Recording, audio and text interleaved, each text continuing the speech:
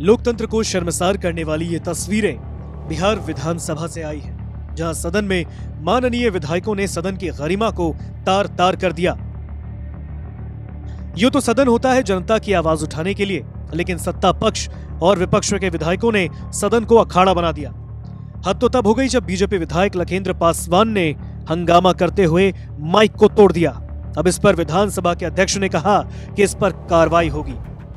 लखनदर पासवान जी, आपने अमरजादित काज किया है। आप जो है, माइक तोड़ने का काम किया है, यह बिल्कुल गलत है। यह गलत है, इसलिए बाध्य होकर के आपके ऊपर आसन कार्रवाई करने के लिए बाध्य हो जाएगा। दरअसल बिहार विधानसभा के बजट सत्र में आज का दिन भी काफ़ी हंगामेदार रहा। सदन की कार्यवाही फिर से शुरू होने के बाद हंगामे और माइक तोड़ने के आरोप में विधानसभा के अध्यक्ष ने बीजेपी विधायक लखेंद्र पासवान को दो दिनों के लिए सदन की कार्यवाही से निलंबित कर दिया है। इसके बाद हंगामा करते हुए बीजेपी के विधायकों ने सदन से वॉकआउट किया।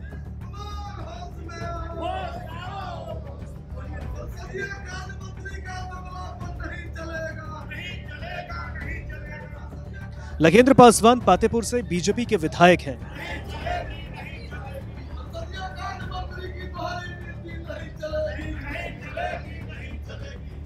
वहीं कार्यवाही स्थगित होने के बाद बीजेपी ने सत्ता पक्ष पर कई गंभीर आरोप लगाए। सदन के बाहर मीडिया से बात करते हुए नेता प्रतिपक्ष विजय सिन्हा ने कहा कि माइक तोड़ने की बात गलत है। सत्ता पक्ष के विधायकों ने हमारे दलित विधायक को गाली दी, धमकी दी। उन्होंने कहा कि सरकार का काम सदन चलाना है तो सत्ता पक्ष के विधायक वेल में क्यों आए? उन्होंने कहा कि राज्य में जंगल राज है। अपराधियों की सरकार भ्रमित करने का काम कर रही है, लेकिन जनता सब देख रही है।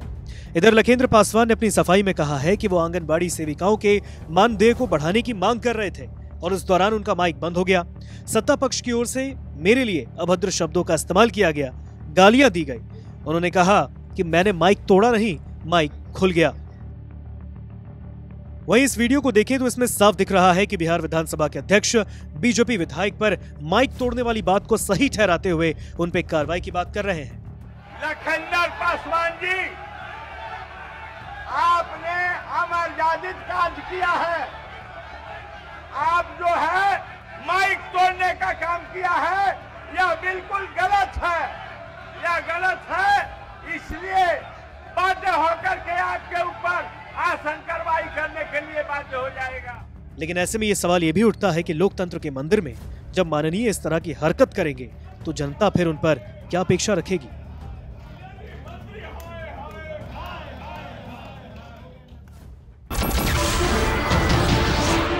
नमस्कार, मैं हूँ मानक गुप्ता।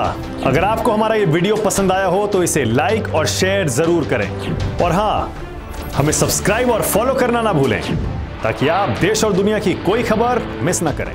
तो जुड़े रहिए हमारे साथ और देखते रहिए न्यूज़ 24